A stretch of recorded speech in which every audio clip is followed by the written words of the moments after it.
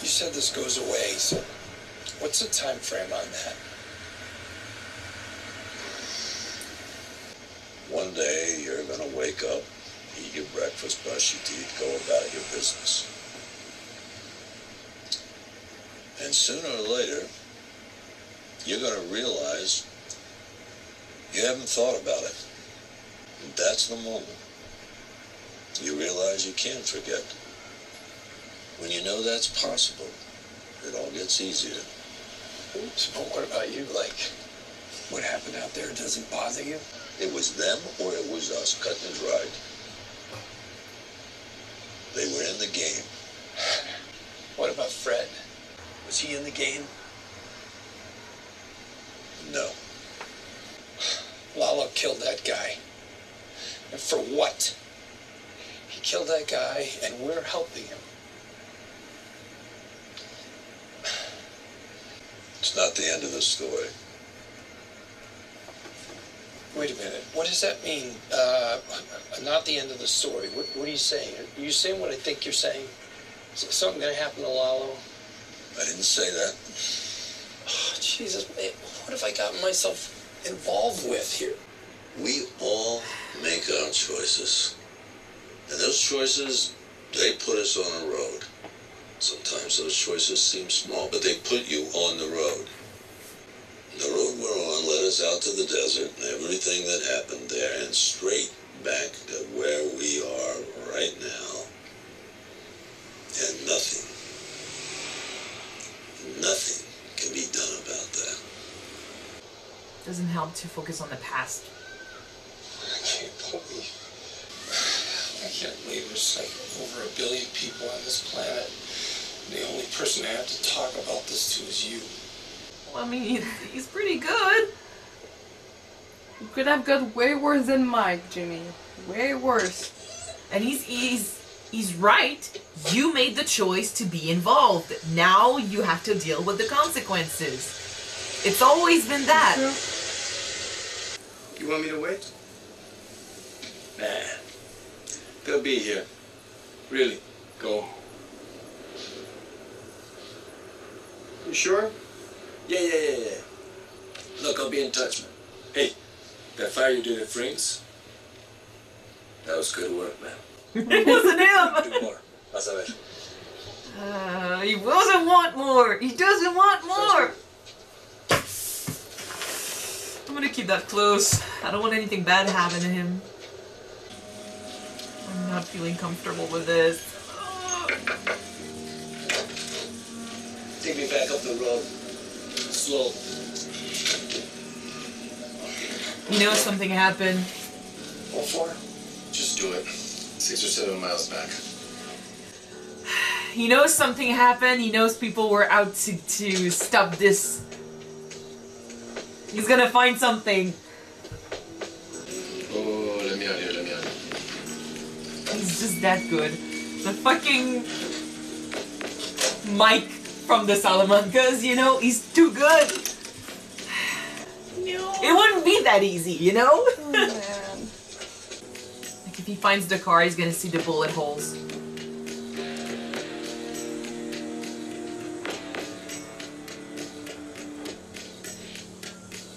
Yeah, he's so cool! he's so cool!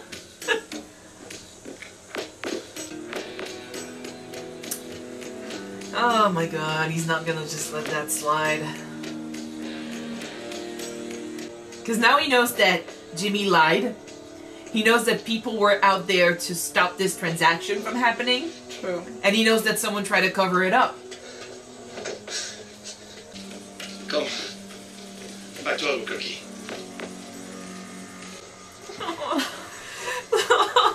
What about Mark? Uh, I thought he was leaving for good, but there's a part of me that's happy that he's staying. Because he's, he's, he's a cool character. He is a cool character. But now you know that something was yeah, hidden. it's gonna get dangerous because he's not gonna like that they lied to him. I uh, quit Schweikart and Cokely, Oh. and I gave up Mesa Verde. How about we get some food together? How is he taking this? What? Yeah. What? What happened? Look, it's been a rough couple of days, so why don't you just hold off on a final decision? You call Rich, tell him you're thinking it over. I already talked to Rich. Then I spent the afternoon in the courthouse with pro bono clients without Mesa Verde hanging over my head. Best afternoon I've had in a long time. Pro bono means no money. So what's the plan here? I don't know, but I'll figure it out. Okay. Leaving Schweikart, I get that. It's a bunch of stuffed shirts, but uh, Mesa Verde, hey, that's like leaving the Yankees to play amateur ring toss. She No, it's not. I'm, I'm leaving something that makes zero difference in the world to help people who are actually in need. Look, we all make choices, right? And those choices, they put us on a road. And the road has good choices and it has bad choices. And this is a bad choice road. What are you even talking about? Wait, Mike? Not as good as Mike. That bad choices lead to bad This is probably Lalo calling him. places. When you decided to be Saul Goodman, I didn't get it. Still don't really, but I stood by your decision. What I did was completely different. How? Because I was leaving failure for success. It's not different. You believed it was right for you. Give me the courtesy of believing this is right for me. And I'm giving you a reality check. This is too far too fast. And I'm giving you a reality check. This is really none of your damn business.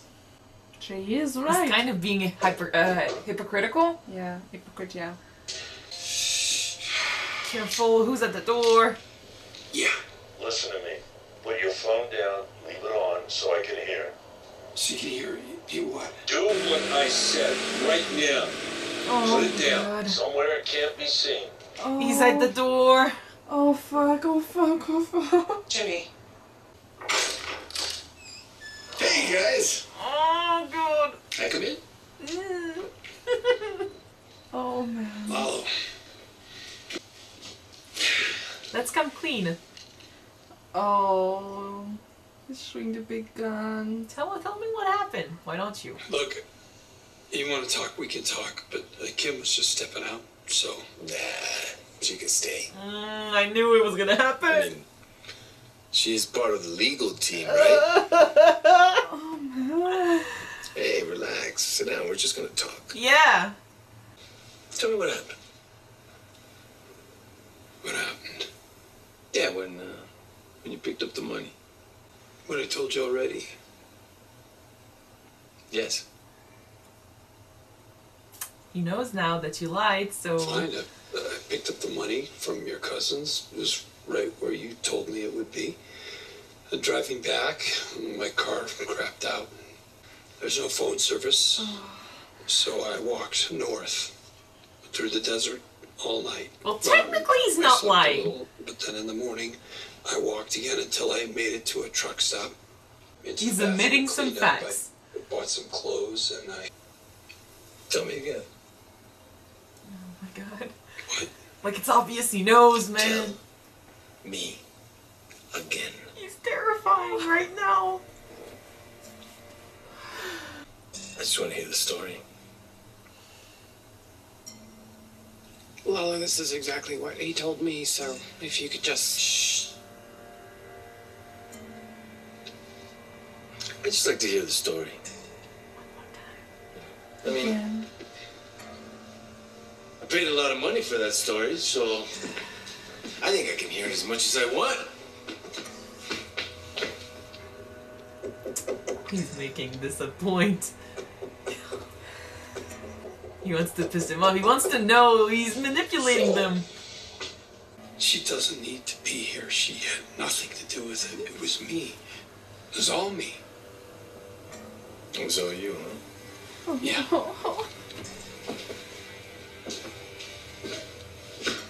What'd you do, so? Whatever you think I did. I don't really know. I just. She I saw your car. Did you push it in a ditch? I don't think so. You don't think so? Well, I mean, you either did or you didn't, so, um, which one is it? Well, and people could have come after. You know? I don't know what you want. Look. Okay. are you are, are you kidding me with this? Kim, Uh, Do you know what he did for you? Seven million dollars of your Kim. money. He hauled it across a goddamn desert without one penny missing. And he got you out of jail for a murder that, let's face it, you're definitely guilty of. And went way beyond what any other lawyer would ever Kim, do. get away!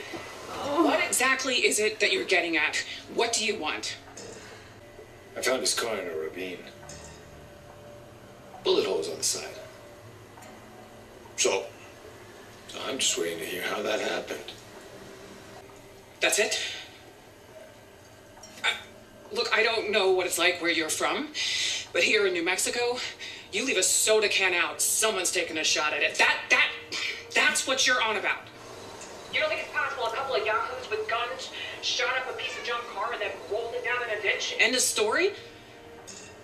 What kind of operation are you running, Kim. anyway? Careful. Tell me. Because I think I know why you sent him to do this job. You have no one else you can trust. No offense, but you need to get your house in order. oh, really? She's got so much Yeah, balls. really.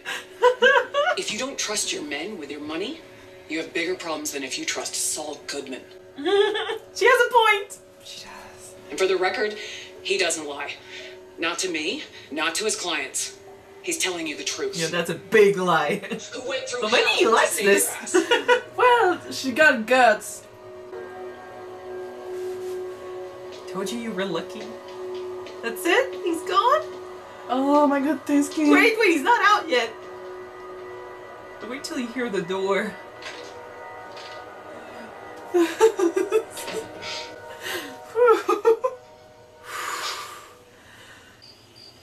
What now? Mexico.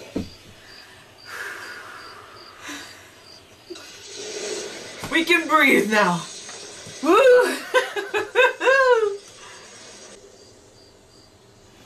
there was a lot of moments in this Oh my episode. god, that was stressful, guys. there was a lot of moment in this episode where I wasn't sure if the episode was gonna end, and I, I like three or four times I was like, okay, this is the end of the episode. The next episode we're gonna have like this conversation, but I'm actually happy that it happened now. Like it's it's done. We can breathe. Woo! Okay, first of all, Lalo has a good instincts. He's so good at his job. He should listen to. He he should trust his instincts more often. I'm glad he didn't this time. Kim really put him in his place, and I think having her. I mean, she spoke the truth. Like, she's a lawyer for a reason. She knows how to handle this shit. She knows how to play with the truth. And Oh man. technically, he didn't lie. Jimmy didn't lie. He it's just he didn't. he- admit some of the stuff yeah, that happened. you didn't tell how his car broke down, you know? But he couldn't tell either because that would mean for I mean stuff happening they were kind of expecting it, but Mike getting involved on on Gus's orders, that was that was bad. That was really bad. And the fact that he works with Mike, the, the fact that he's, you know, in cahoots with Mike, that's also really bad. But there's also the the fact that someone betrayed him. Someone, you know, went out there to to stop this from happening. Someone knew there was going to be a transaction and someone showed up with guns to stop it. So that would have kept Lalo north of the border for a while. He would have invested, he would have uh, investigated, he would have looked into this, and be- because of what happened with Gus, we know that the guy that did this, the guy that orchestrated this, was against Lalo, but for Gus. He was trying to help Gus. So this would have started something really, really crazy. I'm glad it didn't go this way. Uh, speaking of Don Eladio and Gus, by the way, I just like the fact that Gus can go from "Have a good evening, Don Eladio" to It wasn't Don Eladio. It wasn't Don Eladio. It was Don Eladio. It was uh, the guy, Oh, the true, go-to guy. true. The the go-to guy who uh, spoke for Don Eladio. Yeah. That's right. So he's working against Don Eladio. Damn. Well, I think it. I, I don't think it's Eladio that's doing anything. I think it's more the this guy that handles the two uh the two big guys. You know, Gus and uh and the Salamancas because Hector's not there anymore. I think it's just that he understood that right now Lalo was doing a lot of shit. He was doing uh you know he was he was destroying Gus's business and their little feud, you know, their little war was was bad for the cartel. It was creating uh, problems and and you know they were trying to say that oh I mean I've been I've been going through some some crazy things. I've been trying to cover it up. Like Gus was saying was lying to them because of that and and Lalo kept pushing but this guy thinks of the cartel first and their feud was not for the cartel. It was Yeah. between them. So by keeping Lalo in prison, he made he kind of made sure or he wanted to make sure that there was not going to be any, you know, problems anymore. But Gus wanted him out. He wanted him away, gone forever. Yeah, true. Bye bye, So, Lalo. But yeah. yeah. as I was saying, I just love how uh, Giancarlo is so. It's so it's so easy for him to just be so happy and nice on the phone He's and got just. Gus has a great poker face, you know, Oh, and poker voice. that is so entertaining to see. Seriously. he is well we know that gus has his, his own plan you know he's got his, his end game in sight he knows where he's going and he cannot allow anyone to mess with his plans. Even if sometimes what he's doing goes against his own company he's the one that Yeah. burned his, his his restaurant. He's the one that made sure that lalo got out of prison after making sure he got in prison you know? Because in prison he lalo was lashing out. In prison, Lalo still had too much control, too much power, and he was lashing out because he, he kind of, I mean, he wanted to to get back at Gus. I think he knew that he was somehow involved because he's he's just that good. So he needed to get away, and it's true that with too much focus on him paying seven million dollars for bail, he, mm-hmm. he didn't have any choice but to leave.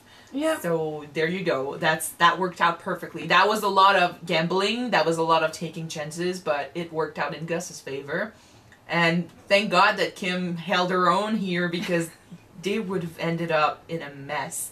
Oh, I think I love that Mike showed up to protect them, but I, if he had shot Lalo, forget it. They would have been, it would have been too late. Like these two would have had to go like away somehow. They would have be in this mess way too much for them to ever hope to get out. It would have been the end of of Saul and Kim as we know them right now. So Yeah. So I'm just glad that everything went fine. yeah. And I think that what might have sort of convinced Lalo about that they were telling the truth. I don't know if you believed them at the end of it. It's like um even under the pressure, Jimmy kept his cool and kept repeating the same story over and over again. And each time, yeah, it was more. Um, Well, we'll see. it was it was expressing more what he felt during it. I So it was a little bit more believable by the third time. let me just argue here. I think Jimmy was an open book. I think Lalo saw through what Jimmy told him from the start because you know when he, he showed up at the well and he said, "Let's go back to Albuquerque," and Nacho was like, "What about the cousins? Well, uh, what about the two gu- the, your your cousins coming?" And he was like, "Oh, well, I mean, it doesn't matter. I think they never were supposed to show up or something. Maybe he he never expected them to show up, and he just went there to look for what happened because he, he knew deep down that something was off. If they did show up, sorry, but still, maybe he went there knowing that he was because after everything with Kim, he said, "Let's go, let, let's go to Mexico." So not the well, not not anything. There's there's no point in going there anymore. Yeah. So I think he saw through his bullshit from the start, and when he showed up at the house, there's a reason why he kept asking him to repeat uh, the same story because he knew that Saul knew, like Jimmy knew that Lalo was aware that he was lying, and by asking him to, you know, tell the story over and over again, he, he was messing up with them like he did with the fish, and uh, he expected him to break. Kim just showing up like when she showed up the first time right after she she she she started you know freaking out over Jimmy's disappearance and she her her first uh, reaction was to go to Lalo and ask him questions. You know, she freaked out. I think he saw her as a an emotional wife that that wouldn't take that kind of pressure. So for her to stand up, freak out over him, but tell him, you know, put him in his place, knowing that first of all he's got a gun right there, and she knows what type of guy he is. Yeah, she got balls of steel. Seriously. Yeah. But I think he misread her, and th- that might be why it worked in the end because she kept her cool and she showed a lot of potential for for this, and and she she did good. What I don't know is does he have uh, does he have another plan? Is he just gonna drop this next season? I don't know, but this isn't a finale or anything, and No. uh, we'll see, we'll see. Because he's too good. I think he's like Mike. Mike wouldn't let go of this. You know, Mike wouldn't just drop it. So we'll see what he does next. I was about to say it's like Mike before the bad side, but both sides are kind of bad. so yeah, the the worst of the bad side. So We'll see. Maybe he's gonna leave forever, and we're, we'll never see Lalo again. But I think it might not be. forever. I don't think it's He's the a end of good character. I want to see him back again. Until he's dead. episode, I mean, this episode was a lot about just dealing with the consequences of your choices. Mike had a good point. Great speech, by the way. These last few episodes, he's been so good. But um, saying that you're you have to deal with your choices. You, you can't wallow about what, what you did before because it's done. Like now you Yeah. you're just stuck with what's what's after. It made a lot of sense with what's going on with Jimmy, and it it also fits with what's going on with Kim. That fucking fly! I swear. mm, after this, we're killing it.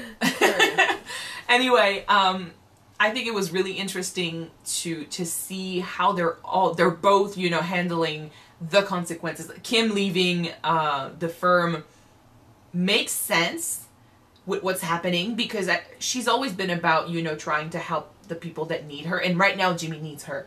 She knows like she's taking it really good. The fact that she knows he's going through trauma, PTSD, he's not good. He needs her by her, by his side, and the fact that it's true he could have died, and and she needs to. I mean, her entire vision of you know what's worth it, what's what's worth living for, you know, that that kind of put ideas in her head. Like she doesn't want to just work on Mesa Verde, and it's not giving her any fulfillment. Satisfaction. Yeah. Yeah, no satisfaction, no anything. So, and she went back for that fucking cat that she keeps around. She wants to make things that she wants to do things that make her happy. I'm just not sure. Like, like they were saying, oh, if you make bad choices, it's putting you on the bad road. Uh, type of choice, type, uh, on a bad choice type type of road, Yeah. and uh, this is a, Jimmy's right. Like this is exactly what what she's doing. I agree with the pro bono cases. I agree that if she's not happy with with uh, Mesa Verde, she should just drop Well, it. she but- hasn't been happy for a while now. Yeah, and her mind was always divided by the pro bono cases and Mesa Verde, and Yeah. she always kept going back to the pro bono cases. but what I fear is what she does next. Like if she goes towards more, you know, not pro bono cases because she still needs money, but if she wants to help people truly, that's great. If she goes towards more, you know, Jimmy type things, stuff that she's gonna regret later, I don't know. Like there's it's always uncertain with Kim because she she has a tendency to to regret what she does, but then she makes the same mistakes like all over again. Yeah. So we'll see where she goes after that, but we'll see. Jimmy, by the way, was really hypocritical, you oh, know, it was such an hypocrite. because gosh, he made that same choice before. Every time like Kim wants But- to get away from that right path, according to him, he's like, no, no, no, you shouldn't do this. Like he's berating her, but then he does this, he does it, and it's all it's okay, you know. But in a way, I can understand in a way why he's freaking out so much about it because Mesa Verde is a big client. It's a huge opportunity and it's Yeah. a it's a big thing. And he doesn't want her to regret it in the future. And out of but for him it's just out of the blue. She just quit out of the blue. He doesn't know that she was maybe thinking about it for a while now. anyway, there's one last episode before we end this season, so But I, I think that it's not understandable for him to not understand why she just quit Mesa Verde and quit uh, the law firm that she was a partner of. But to insist when she said, I want to do something that makes me happy, and that wasn't it. And he kept insisting for her that you're gonna re- regret it, and you need to call the, call them back and say that you uh, you're gonna talk, think about it I think it- change your mind. I think it has to do with how he sees himself. You know, every time we he's, he has a conversation about what went wrong in his life, he sees himself as a screw up, as someone who was never given the chance to succeed, but he was given chances before. He has been hired by a firm. He has he has had it all, you know, like Kim has right now. But Yeah. every time he chooses to let that go, he puts the blame on the people around him, not himself. He made that choice. So now he sees Kim with everything that he wants and she's letting that go like he did, but because he's used to putting the blame on everyone else, that's what he does here too. He's like, "Why are you letting that go? Everything goes well for you here." So he doesn't want to put the blame on her, you know? He's like, "No one is giving you shit, so why are you letting everything go?" He doesn't understand that she's she's doing the same thing as he did. She just wants to focus on her own happiness, but True. he doesn't see it. Yeah. So I think that's it, guys. We're gonna kill that fucking fly. So stressful, Ooh. seriously. Oh, that I'm ending, Still at God. It. I'm still at it. the entire like last part of the episode was so fucking tense. So we're gonna move on because there's only one episode left. Yep. I wonder what they're gonna do. for the finale of season five. I really wonder what they have in store for us for that finale. Cause I thought like this could have almost been a finale, but it wasn't. So what what tops that? We'll see. We're gonna take care of our cat and we're gonna take care of that fly. Thank you guys so much for watching this episode with us. If you want to see the next one right away, it's already on Patreon. Check it out. The link is in the description. Yep. So don't forget to subscribe if you want to watch it now, and if not, with the next one to be out on YouTube. So we're gonna see you then, guys. Okay. Bye. Bye, guys.